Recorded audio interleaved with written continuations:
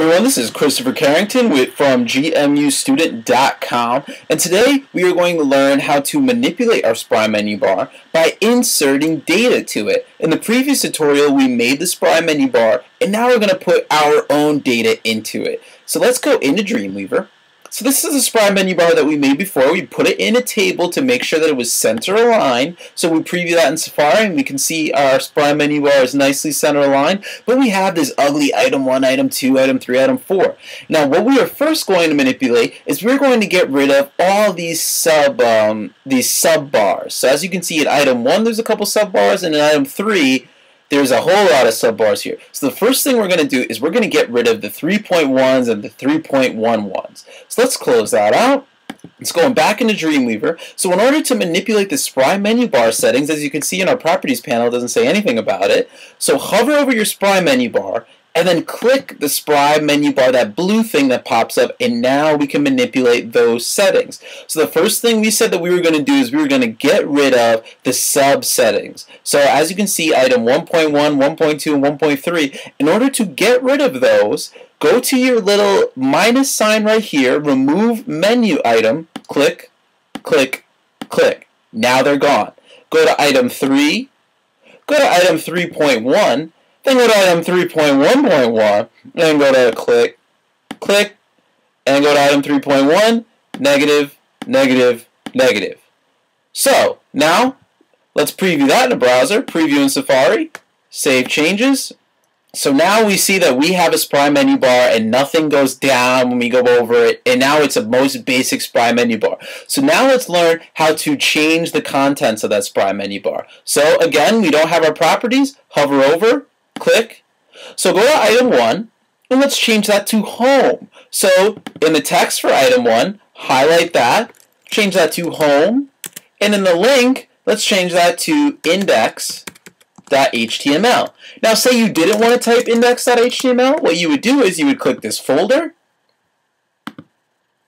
and you would go to index.html, and you would go choose, and it would put it in there for you. So let's go to item 2, and let's just call this about. Let's get that uppercase. And you would put in your little link there so that when people click it, they go to the about page. In item three, let's uh, let's call that portfolio. And in item four, let's call that contact. Okay, so now we have the basic Spry menu bar. So let's say if we wanted to put extra menu items into portfolio. We would click portfolio and we would click the plus sign right here, add menu item in the sub bar. And there you go. Now we have our own sub menu item. So an untitled item, let's call that um let's call that pictures. Enter and we would put the link for pictures if we had it. And then we would click add and let's make that I don't know paintings And let's make the last thing, uh, let's call it cool stuff. And click enter. So let's click outside. Let's hit Command or Control S. Let's preview it in a browser. So now we have our own menu item and we have our own sub-menu item. So the last thing I'm going to show you how to do is what if we decide that we want a whole new home about portfolio contact? Why don't we say we have another one that's just called, I don't know, let's just call it apples. I, I can't even think of anything else anymore. So let's say we wanted to add a new heading 1 item called apples. Well, as you can see, our table is almost run out, but let's add it anyway. So in home, click that Spry menu bar item, go to home, and then click right after contact and click the plus sign.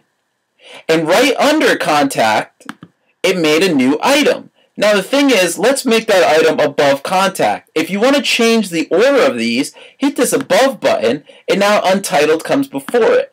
So let's change the name untitled, so let's just change it to apples and click enter. Now look how jacked up our Spry menu bar looks. The reason is because our table is too small. So in order to manipulate the settings of our table, click somewhere in the table and then come down here to where it says table and we just have to make it more pixels wide. So why don't we try 620? 620 pixels. That's still too small. Uh, let's try 660. Enter. So now we have a good Spry menu bar. So we basically learned how to manipulate the names in the Spry menu bar, how to add contents to the Spry menu bar, and how to take contents out. Don't believe me? Let's check it real quick. Save changes. And now we have our Spry menu bar that we just made from scratch. So in the next tutorial, we are going to learn how to manipulate the colors of the Spry menu bar, how to manipulate the background colors. So thank you for watching. This is Chris Carrington from GMUstudent.com, and I hope this tutorial was useful.